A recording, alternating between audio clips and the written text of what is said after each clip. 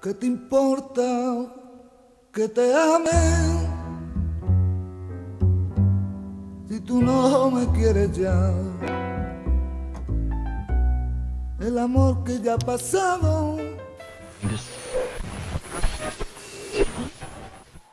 Buenas tardes, reiteramos el saludo y como siempre el agradecimiento a nuestro telecentro y a nuestra emisora por darnos la oportunidad de mantenerlos informados acerca de la situación de la COVID-19 en nuestro país y en nuestro municipio.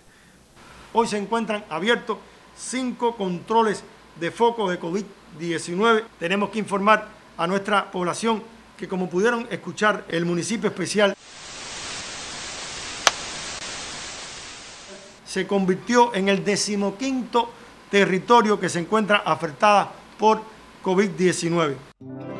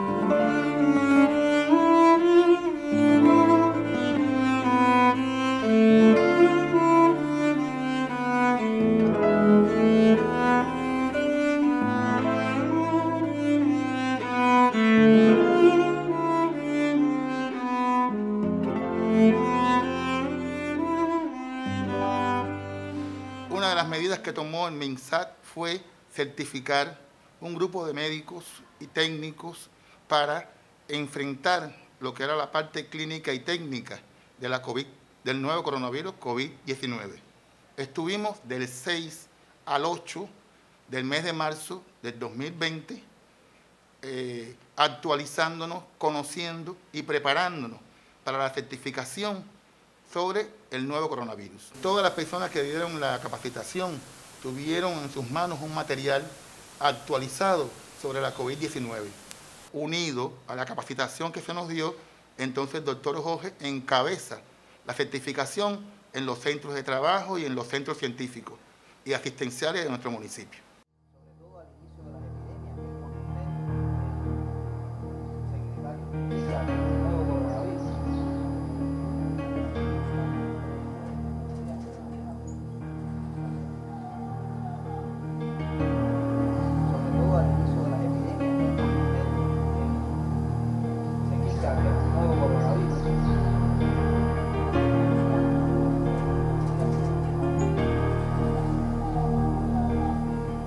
Personal que va a estar en la primera línea, en la primera línea de tratamiento, una mayor exposición a la enfermedad.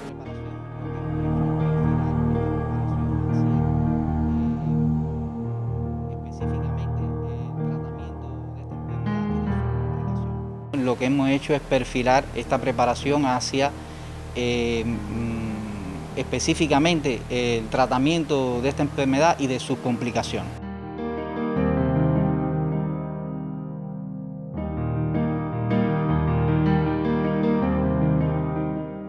Lo importante era que le llegara la información a todo el mundo y así preparamos esa información y la pudimos dar lo mismo en el hospital, en la capacitación o en un policlínico o a los médicos de familia en su preparación habitual que hacen los sábados por diferentes eh, temas o locales tan diversos como en el puerto, por ejemplo, o en el aeropuerto o en la base de transporte de ómnibus.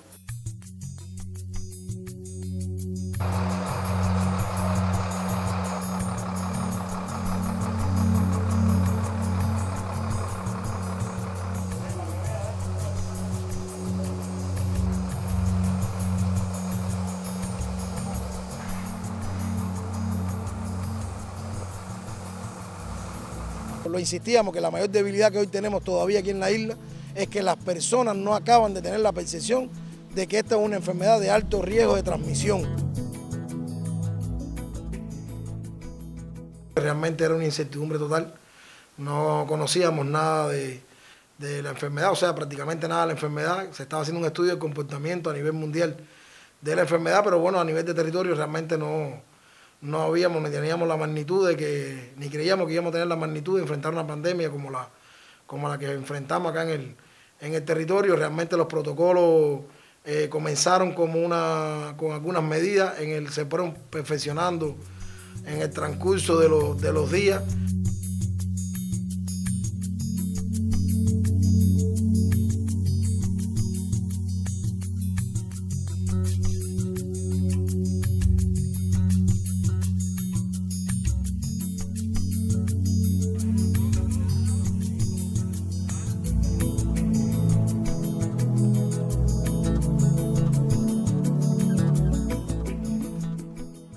Inicialmente pensábamos que una medida que aplicaríamos eh, no iba a dar resultados, la, la, vía práctica nos dio que mientras con más rigor se aplicara la, la, las medidas, realmente íbamos a tener los resultados más, más rápidos y así fuimos aprendiendo durante todos los días.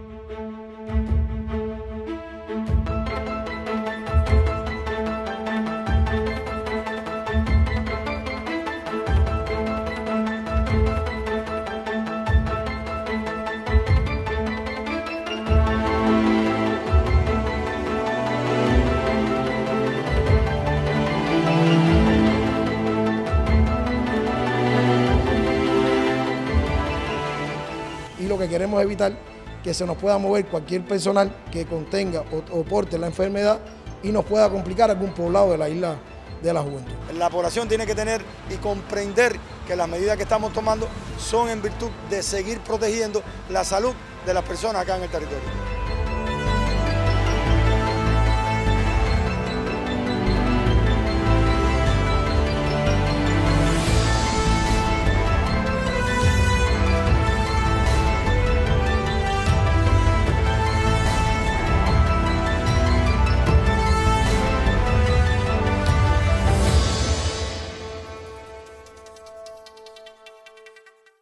Cerrar la ciudad, eh, una ciudad donde prácticamente viven el 50% de la población de la isla, la juventud, eh, muy diverso también, porque tenemos personas que viven en Gerona, pero entonces compran en Sierra Caballo, compran en La Fe, personas de Sierra Caballo que compran productos acá en Gerona, las principales redes de mercado están en la ciudad de Nueva Gerona.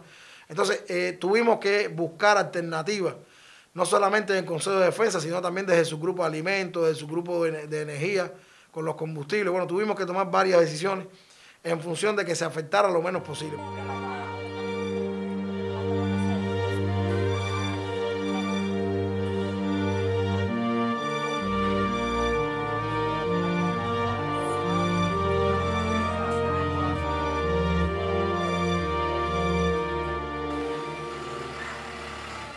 Llegaban asustados, llegaban con mucho miedo, porque eh, era además lo que sentían acá afuera en, la ciudad, porque había mucho, mucho ruido con este asunto.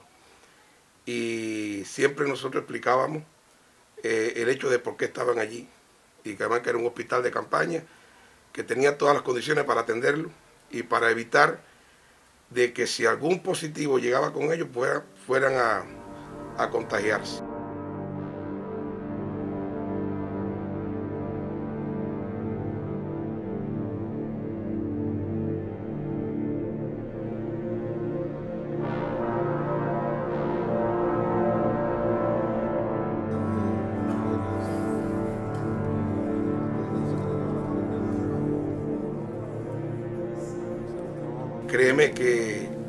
Siempre siente miedo, pero el, quizás el, el valor está en sobreponerse a ese miedo y saber que uno tiene que cumplir con una tarea que por encima de todo es una de las más importantes y más lindas que, que alguien que trabaja en salud pública puede hacer, que es salvar vidas.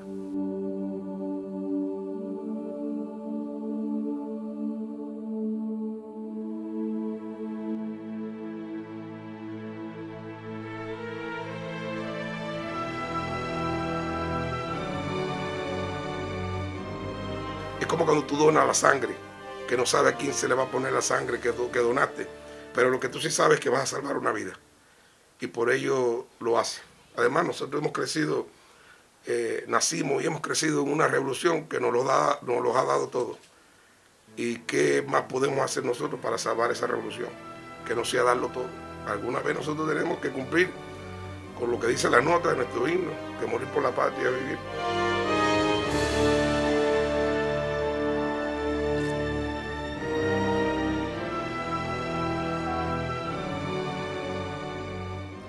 Buenas tardes, les reiteramos el saludo, agradecemos nuevamente a los medios eh, a través de nuestro telecentro y la emisora Radio Caribe por darnos la oportunidad de mantener informada a nuestra población acerca de la pandemia originada por el COVID-19.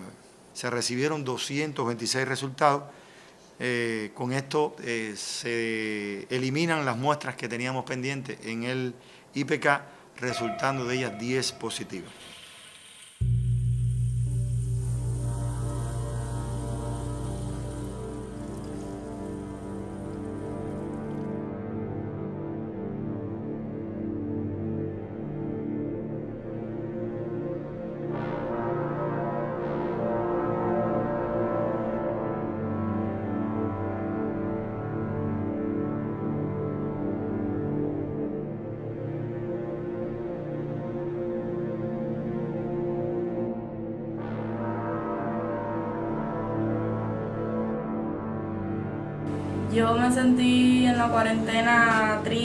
Ya que no podía salir a ningún lugar. Me asomaba al balcón y veía a todo el mundo caminando, dirigiéndose de un lugar a otro, y yo sin poder salir de aquí.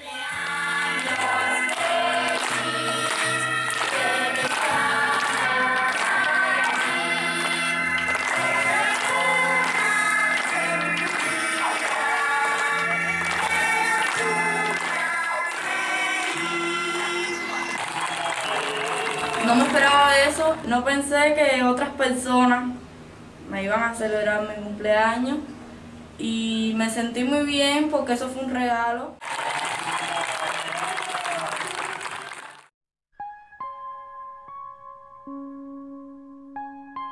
Desde el punto de vista humano me siento realmente eh, reconfortada. Estoy haciendo algo por mi, por mi comunidad. ¡Compañeros! Al principio fue algo como ayudar a mi mamá. Ya después se convirtió en un compromiso con la patria, con la revolución, también con mi escuela. Muchas, muchas, muchas cosas me vienen a la mente. eh, no sé, recuerdo de, haber conocido a personas nuevas, el hecho de haber contribuido con el país de una forma u otra. No soy doctora, pero bueno, mi, mi grano de arena fue colaborar con la ayuda en medicina, en mandado.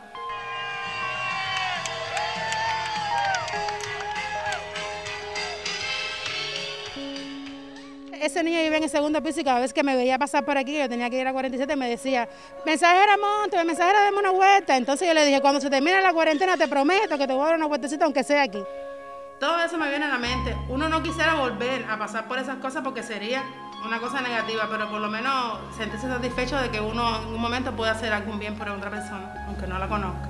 Yo, yo estuve allí por, por- por voluntad propia, no fue que nadie vino a buscarme a mi casa, tienes que estar allí, yo, yo solita fui. Y eso me deja un buen sabor de boca. Que yo puedo decir que, que estuve ahí por- porque quise.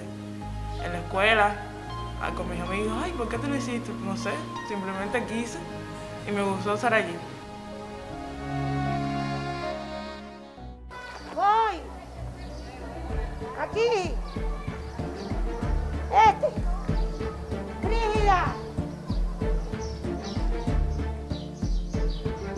Yo he pasado momentos inolvidables. Hay una niña que me llamó llorando que, quería que le comprara dos pizzas. Como decimos coloquialmente, se me partió el corazón.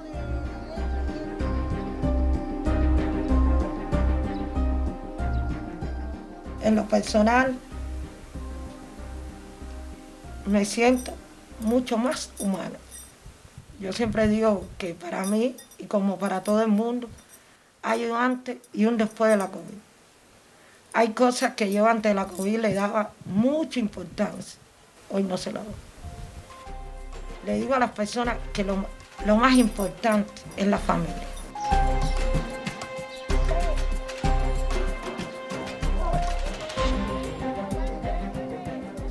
No sabemos qué tiempo va a durar esto, pero como me decían las profes, nosotros vamos a estar aquí.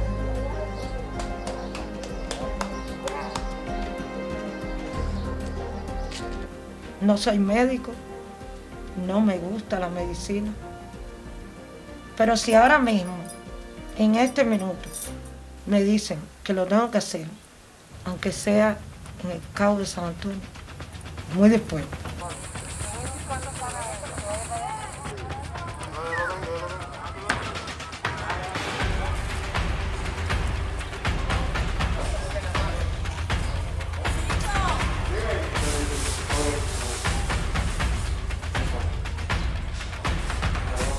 Tengo que decir que hay personas que me han como que, que cuestionado esta decisión. Con Luis Felipe, eh, eh, salte de ahí, mira, está jugándote la vida. ¡Hey, yo!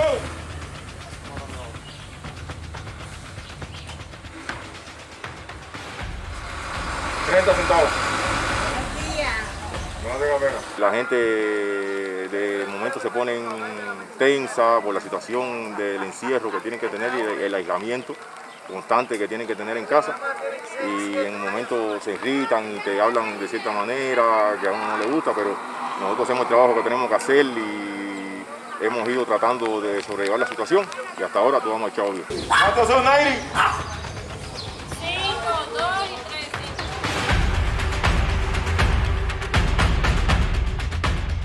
Nadie me obligó, fui yo el que tomé esa decisión para ayudar a la tierra donde yo prácticamente crecí. Coincidentemente ahí vivían mis padres y di el paso al frente para apoyarlos en todo lo que hiciera falta.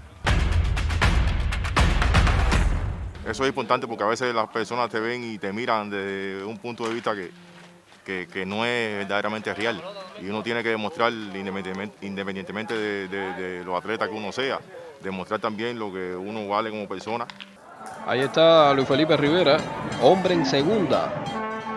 Es la ventaja y, bueno, la definitiva. De entrar este hombre dejaría el campo al equipo de Matanza. Ya se prepara el pitcher.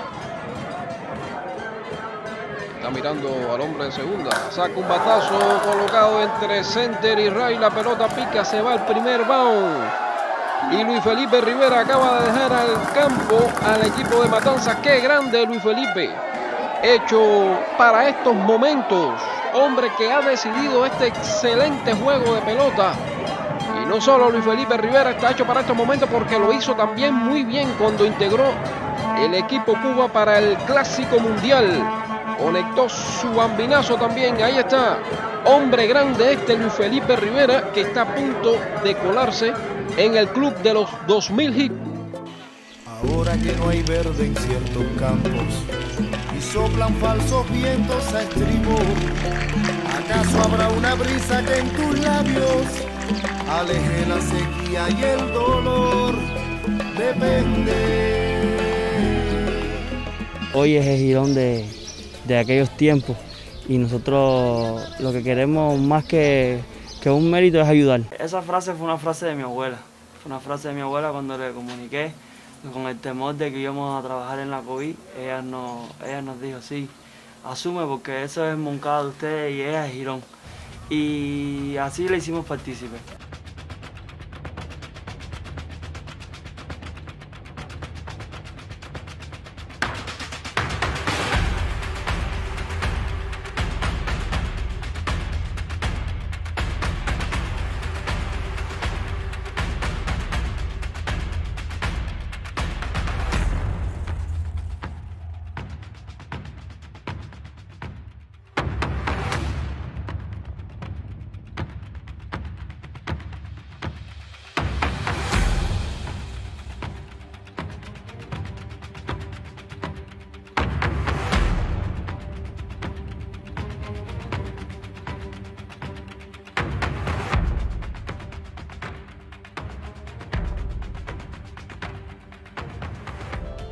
Creo que sí, que nos va a hacer, y a esos estudiantes los van a hacer más humanos, más profesionales mucho, mucho más preparados.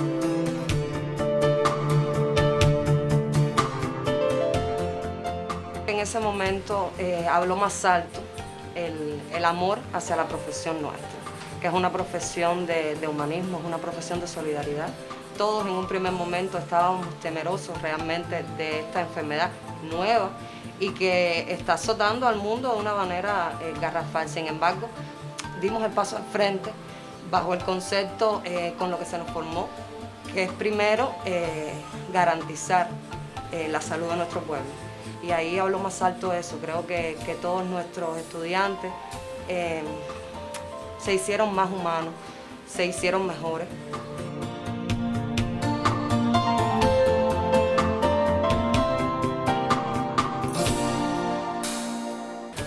Nosotros hemos desplegado amor, hemos desplegado conocimiento, hemos desplegado ciencia y, solidaridad por encima de todas las cosas. Y eso, eso es lo que nos está dejando la COVID-19.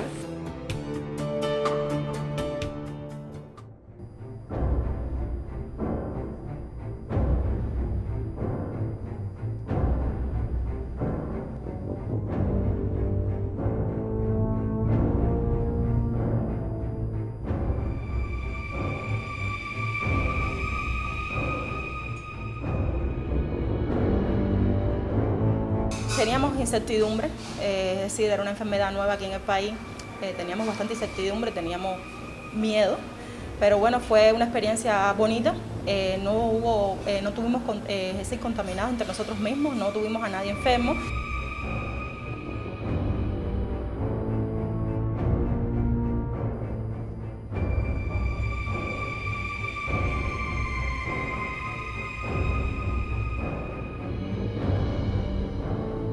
De nosotros dependía que las muestras llegaran a tiempo al aeropuerto, que las muestras se pudieran ir en tiempo, que el IPK las recibiera bien, que las pudiera montar bien, que no hubieran tantas muestras inhibidas, que, los PCR salieran en el menor tiempo posible y además el resultado estuviera aquí en lo más pronto posible.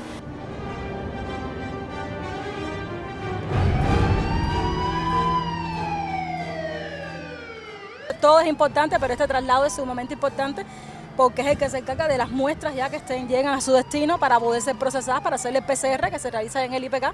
Amén de que aquí ya estamos realizando los test rápidos, pero bueno, la nota final la da lo que es el Instituto del el IPK, que es el que hace el PCR en tiempo real.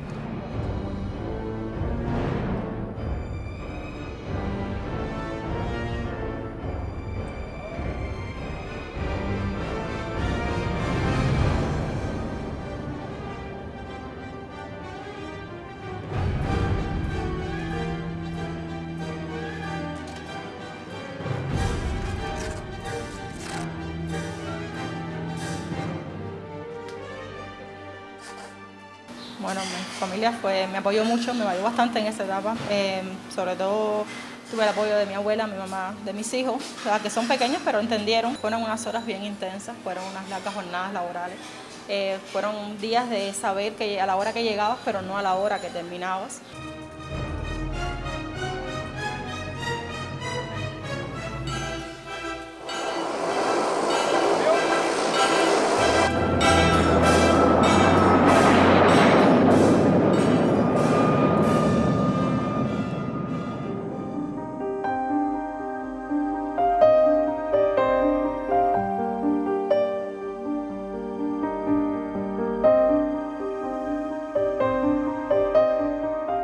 Personas que se cuidan, que se protejan mucho, que esta enfermedad no tiene rostro y a cualquiera le puede tocar.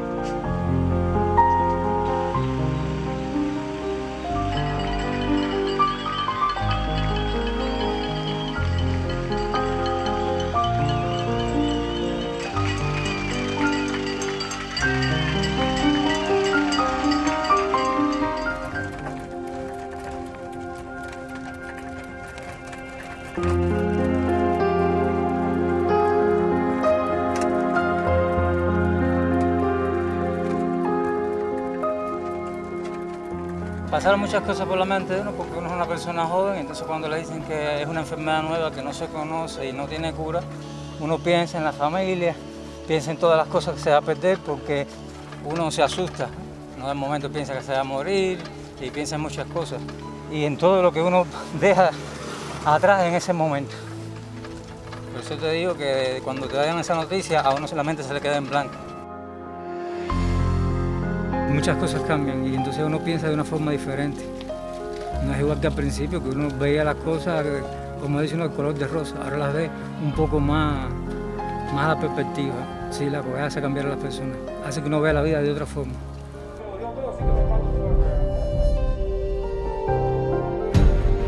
Gracias a los médicos y a nuestra revolución que hemos salido airosos de esta lucha.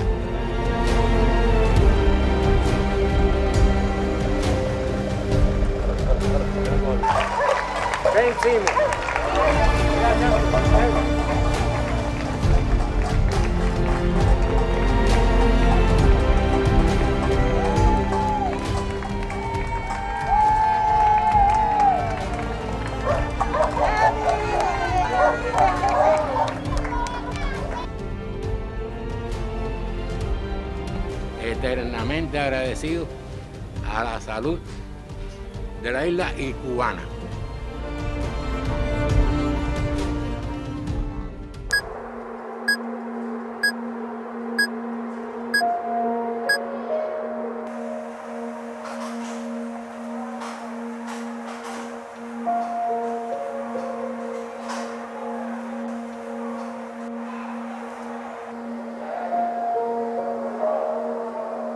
Bastante difícil porque te, da, te pone a pensar muchas cosas acerca, acerca de mi profesión, acerca de la enfermedad, acerca de todos los riesgos que tiene haberse contagiado y sobre todo acerca de mi familia, porque la mayor preocupación mía era que, que mi familia era positiva además, además de mí.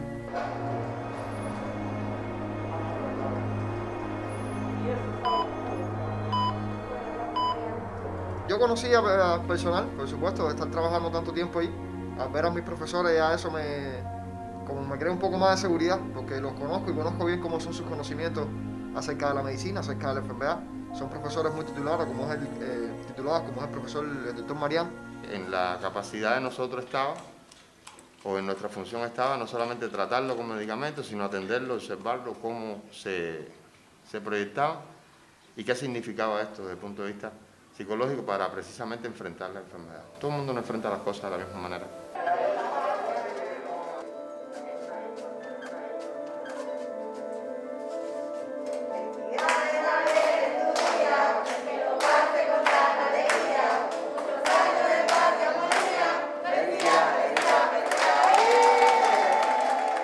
Una sorpresa que para mí fue una súper sorpresa porque no, no me imaginaba eso. A la hora que bajé por, por ese elevador, que vi todo el personal cantando de felicidades, no sabía si la felicidad era casi por mi cumpleaños porque había sobrepasado esa dura etapa que era haberme infectado por la COVID. Pero fue una, una, una gran sorpresa y eso sí me llenó de alegría, alegría.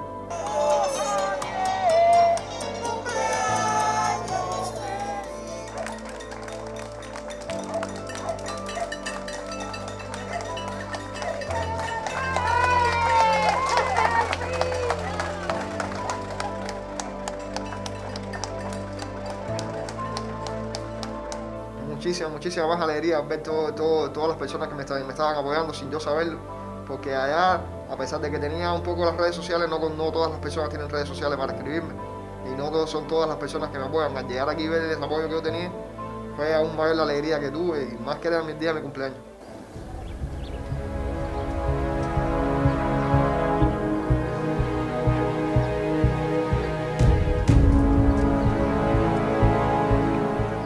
Me contagié estando en la rotación de medicina y no sabía si me iban a convalidar, si me iban a hacer algún examen. Sí, me tenía que preparar entonces en la rotación de pediatría, puesto que ahí entonces ahora sería mi estatal para ya graduarme de doctora.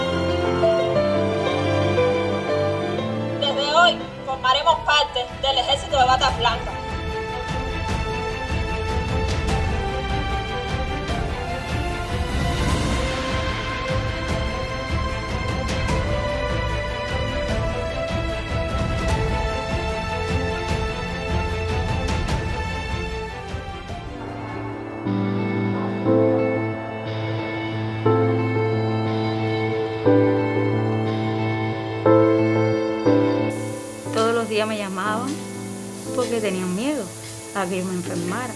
En las noticias todos los días salían que los, los, sanitarios se morían y, to- y todo el familiar sentía miedo, es normal. Pero yo estaba muy bien y yo les decía, no se preocupen, estoy asintomática. Pero a la vez decía, puedo estar enferma. Pero gracias a los protocolos de bioseguridad que nos han enseñado a los intensivistas de por vida, supe llevar bien la, esa parte peligrosa de la zona roja.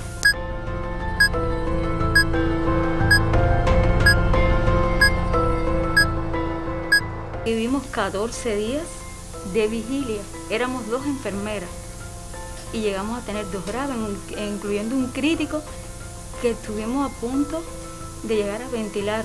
Un señor de 81 años.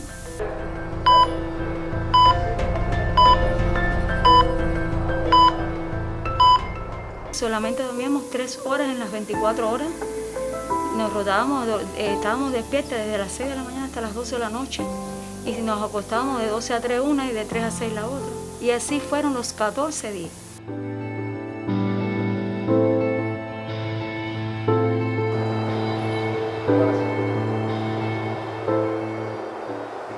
Estabas allí con tus compañeros a distancia, pero muy eh, cerca de tu familia, pero lejos de ella. O sea, lejos desde el punto de vista físico.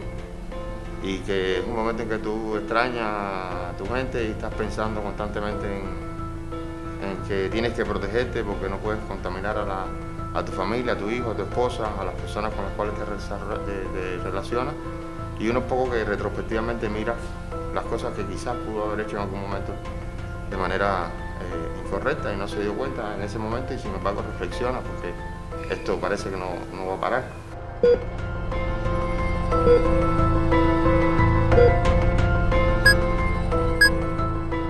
El intentar mitigar ese sufrimiento de estos pacientes y de los compañeros que teníamos al lado eh, te hace indudablemente mejor persona. Indudablemente porque te identifica con lo que la gente siente. Fíjate, más allá del contexto de la, de la propia enfermedad, de los síntomas, los signos que pueda dar, sino en ese contexto de las relaciones interpersonales entre los compañeros y de la relación médico-paciente.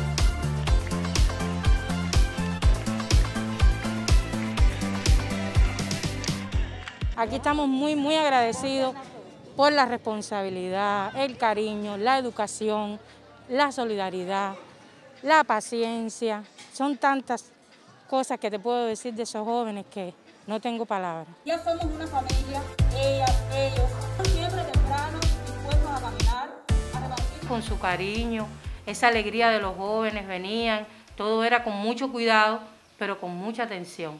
Y nosotros estamos agradecidos por eso, porque ellos cumplieron con, lo, con la indicación y dieron el paso al frente. La revolución lo, se necesitó de ellos y ellos cumplieron.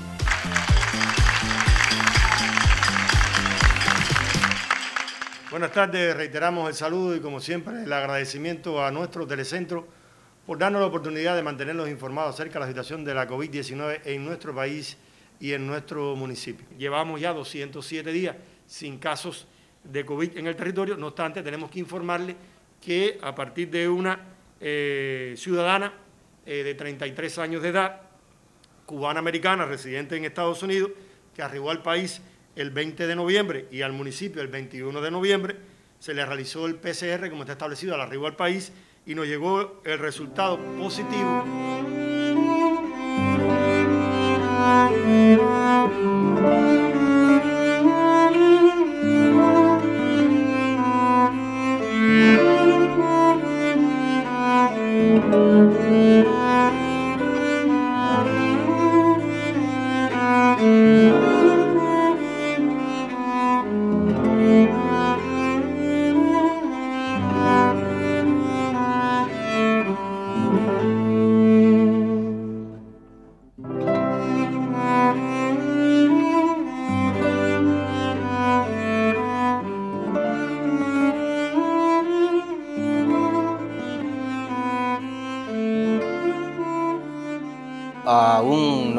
Camino por recorrer, porque esto no se acaba hasta que se acaba, como dicen en la pelota.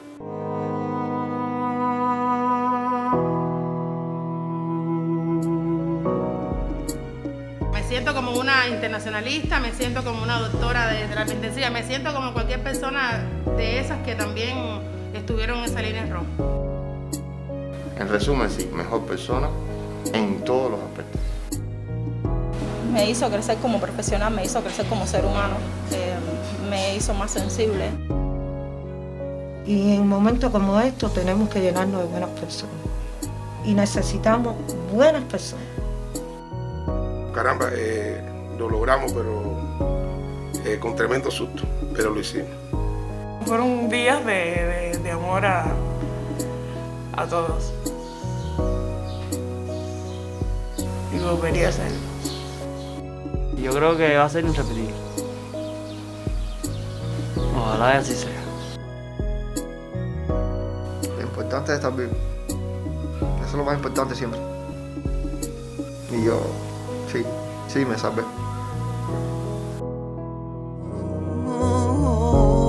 El enemigo regresó para asustarnos nuevamente.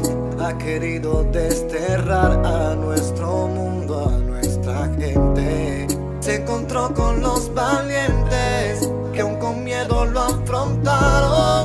Esta lucha es por nosotros y los que se sacrificaron. Debemos renovar nuestra esperanza, nuestra fe. Debemos de juntar la humanidad